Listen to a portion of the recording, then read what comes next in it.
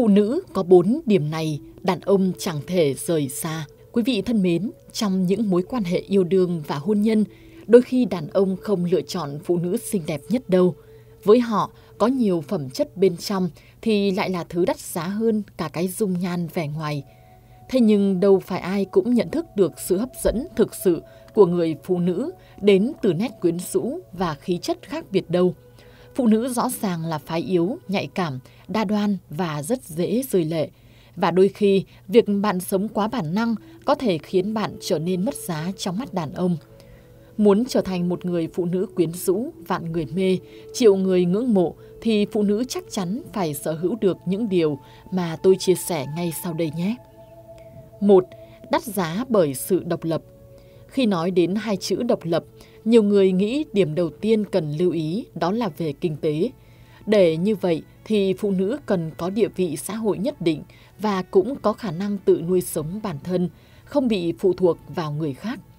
Độc lập về kinh tế có thể khiến cho họ chủ động trong tình cảm và cả chuyện tâm lý. Họ có thể làm việc mình thích, chạy theo lý tưởng và biết cái gì cần để mà theo đuổi. Những người như vậy có sở thích riêng, có thể cải thiện được lối sống của mình. Họ thay vì xoay quanh chồng con, còn có thể tự mình tạo nên hạnh phúc cá nhân.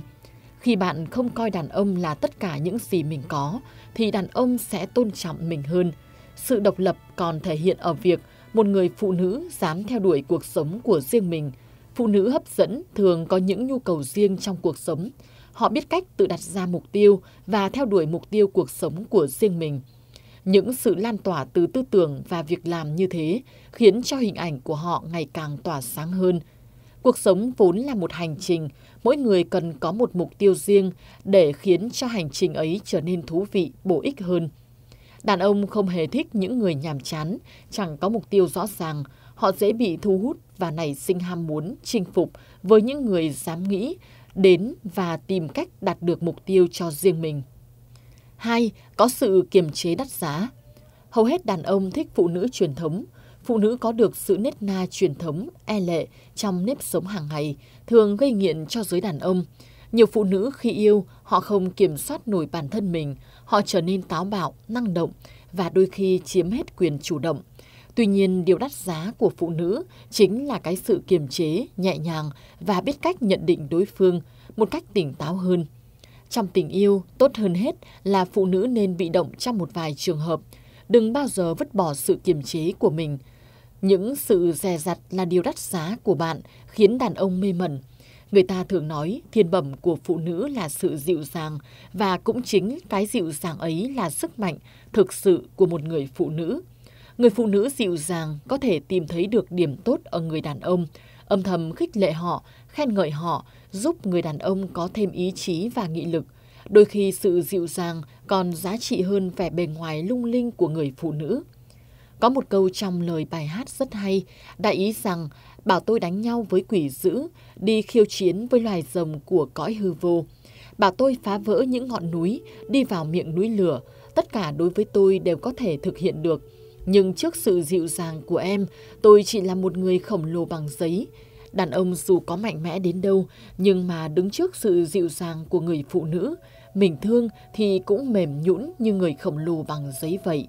Như vậy người phụ nữ sẽ mạnh hơn đàn ông nếu chị em có được một sự dịu dàng. 3. Có nhan sắc toát lên từ vẻ đẹp tâm hồn. Đối với đàn ông thì họ luôn mong muốn kiếm được một người phụ nữ xinh đẹp. Điều này thì không còn nghi ngờ. Tuy nhiên đôi khi sự xinh đẹp đó lại bắt nguồn từ khí chất chứ không phải là nhan sắc tươi trẻ đâu mà khi có tuổi, người ta có một loại khí chất và sự quyến rũ tạo nên sự đắt giá của phụ nữ mà không ai có thể bắt trước được. Thế nhưng để mà giữ chân đàn ông, đôi khi chỉ là vẻ bề ngoài thì chưa đủ. Mình cần có một tâm hồn thú vị nữa.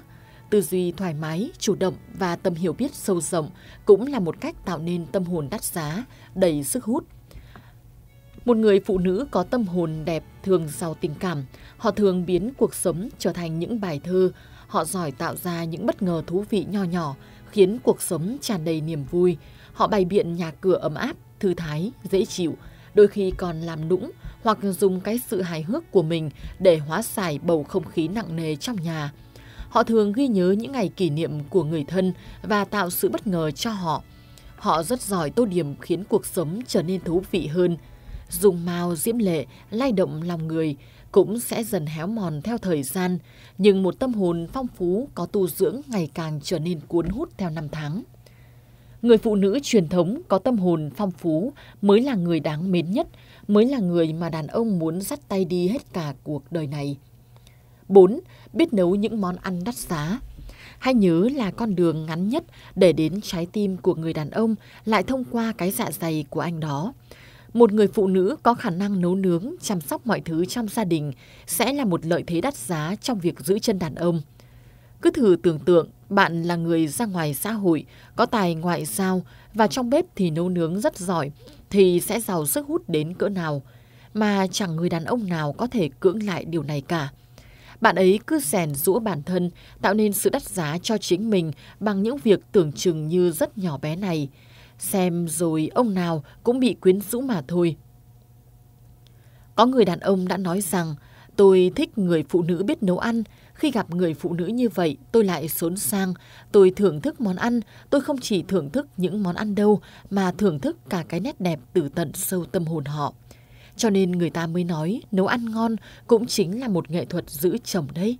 Thế nên thay vì cứ mải mê chăm chút cho sắc đẹp của bản thân thì cũng hãy dành thời gian để dọn dẹp cho cái tổ ấm của hai người hay nấu những món ăn ngon mà chồng mình thích. Đó chính là cách giữ chồng hiệu quả nhất và cũng là điều khiến cho chồng luôn tôn trọng, yêu thương. Quý vị thân mến, người phụ nữ cao quý và đắt giá luôn là người sở hữu một phong cách tinh tế, một cách sống nhẹ nhàng. Cô ấy tự làm chủ cuộc đời của mình và có khả năng tự quyết định mọi việc. Cô ấy có thể làm mọi thứ mình muốn mà không quan tâm xem người ta nói gì, bàn luận việc gì về mình, miễn là cô ấy làm đúng. Cô ấy sẽ luôn kiên định với con đường mình đã chọn. Phụ nữ đắt giá thì biết được giá trị của bản thân và họ không bao giờ làm những điều tổn hại đến danh dự, phẩm hạnh ngay sau đây. Một, dành tất cả để đánh đổi tình yêu của đàn ông. Dùng tiền bạc, tình cảm và thể xác để đánh đổi tình yêu của đàn ông là điều mà những người phụ nữ đặt ra không bao giờ làm. Bởi vì họ biết được rằng trong cái hoàn cảnh đó, người phụ nữ không thể có được tình cảm thực sự của người đàn ông. Một người phụ nữ biết tự trọng và biết yêu bản thân mới đáng được người đàn ông yêu thương. Muốn người đàn ông yêu mình, phụ nữ sẽ tìm nhiều cách để giúp bản thân trở nên đắt giá. Có như vậy thì họ mới đáng được đàn ông yêu thương, nâng niu và trân trọng. Phẩm chất đáng quý nhất của người phụ nữ đó là lòng tự trọng.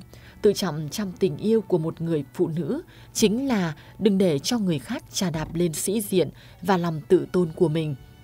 Với những người đã từng rời xa mình lúc cần nhất thì bất kể khi họ muốn quay về thì đến một thời điểm nào đó cũng sẽ rời xa.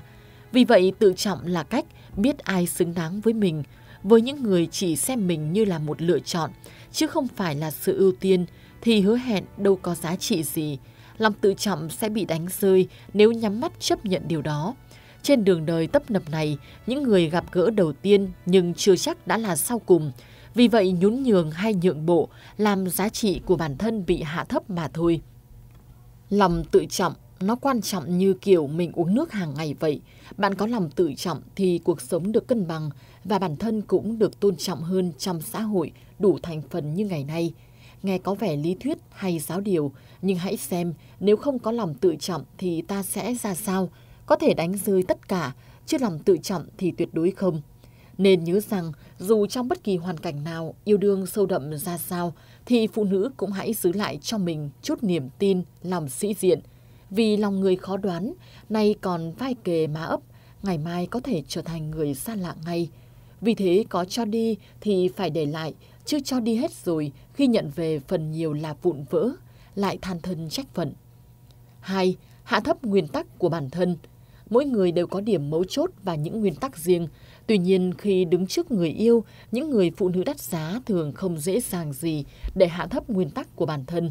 Khi người phụ nữ cố gắng hạ thấp nguyên tắc của bản thân, họ sẽ khiến cho người kia khinh thường mình trong một mối quan hệ.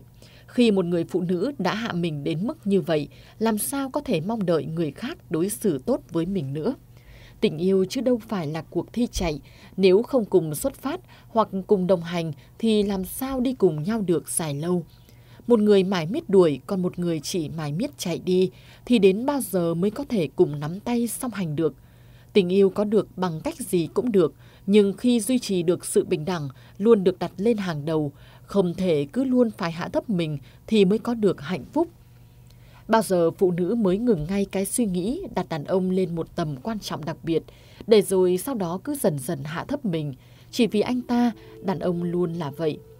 Cả đời chỉ cứ thích theo đuổi những thứ không bao giờ có được hoặc khó có thể có được một người phụ nữ hạ thấp bản thân mình. Vì anh ta sẽ chẳng bao giờ hấp dẫn một người phụ nữ khiến anh ta phải bỏ công theo đuổi. Nhưng chẳng thèm nhìn anh ta lấy một cái. Một người phụ nữ hy sinh cho anh ta, chấp nhận đánh đổi cả tuổi thanh xuân vì anh ta, cũng chẳng bằng một người tức cười xinh đẹp, thậm chí là của lạ ngoài kia. Phụ nữ khi yêu đừng bao giờ tự hạ thấp bản thân mình.